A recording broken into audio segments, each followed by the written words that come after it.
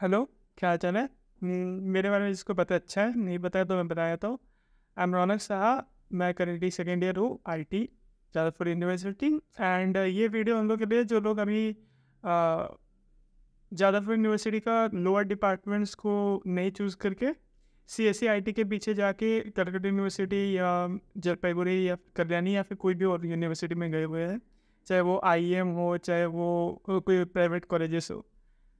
एक साइड मैं अपने बारे में बता देता हूँ। मैं अपना काउंसलिंग जो किया था डब्ल्यू बी जे का, वो ऐसा था C S C I T Jadavpur का। फिर Calcutta University C S C I T और फिर Jalpaiguri C S C I T मेरे को पता, पक्का पता था कि कैलकटा यूनिवर्सिटी में सी एस सी हो ही जाएगा फ़र्स्ट ईयर फ़र्स्ट राउंड में आई टी हुआ, फिर उसके बाद सी एस सी हुआ सेकेंड राउंड में एंड फिर सी एस सी रह गया। मापा में सी एस सी हुआ।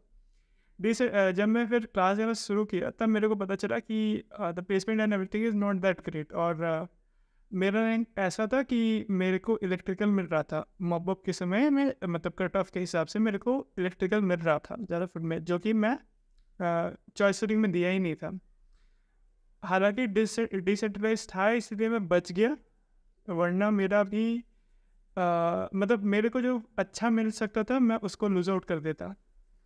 अभी मेरे को मैं सी एस आई के पीछे जा रहा था कि कलकत्ता कलकत्ता यूनिवर्सिटी चल गया लेकिन डिफरेंस एक ही था। वहाँ पे placements weren't that competitive in level to J U चाहे जो डिपार्टमेंट मैं चूज़ कर रहा था वो भी। C S C versus electrical भी देखा जाए uh, वहाँ का तो डिफरेंसेस हैं।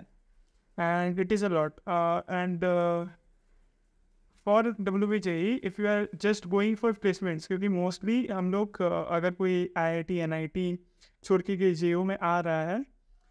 We are here because maybe because of placements of course college life and everything everything is there but mainly अपना प्लेसमेंट दिमाग पे रहता है तो उस हिसाब से ठीक है? तो if you are going for placements या फिर अगर तुमको ऐसा कोई है जिसको गेट सी एस सी दे के गेट में जाना है आ, तो वो लोग कैलकाटा यूनिवर्सिटी परस्यू कर सकते हो कोई भी अपना यूनिवर्सिटी परस्यू कर सकते हो। अगर तुम लोग का कोई ऐसा है जो जो सी एस मतलब कोडिंग कर रहा था क्लास नाइन टेन से? मतलब एकदम प्रॉपर कोडिंग एकदम मतलब अच्छा नॉलेज है और चाहता है कि इस फ़ील्ड में वो बस पढ़े इन्जॉय करो।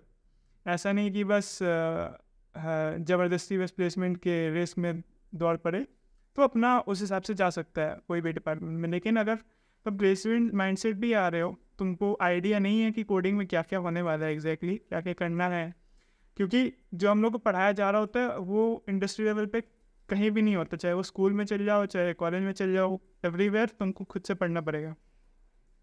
और कोई लोअर डिपार्टमेंट से भी चल गया, तुमको थोड़ा एक्स्ट्रा एफर्ट देना पड़ेगा, क्योंकि तुमको वो अलग चीज़ें पढ़ने पड़ेंगे। But it is worth it trust में it is worth it so इसलिए मैं छोटा वीडियो बना लिया। अगर कोई डाउट हो तो मेरे से बात करना। मेरा WhatsApp and everything will be there in the description below और uh, अगर अभी भी कंफ्यूजन है uh, तुमको लग रहा है कि तुम uh, तुम्हारा रैंक अच्छा है तुमको आ रहा था तो तुम एक बार मेरे से बात कर लो ठीक है? Uh, मेरे हिसाब से ये बेटर होगा क्योंकि मैं नहीं चाहता कि कल के दिन में फिर तुमको रिग्रेट हो।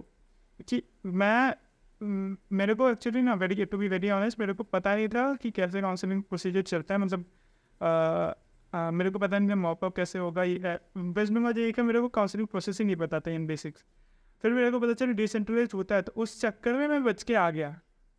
वरना I would have given up gem I would say for gold it is not like extremely bad कि नहीं होप सब खत्म हो गए और something it is good but तुमको जो मिल रहा है वो तुमको ले लेना चाहिए। With that I and the video thank you and have nice day और um, कुछ भी डाउट्स uh, हो या समथिंग हो तो मेरे से कॉन्टेक्ट कर सकते हो। Bye bye have nice day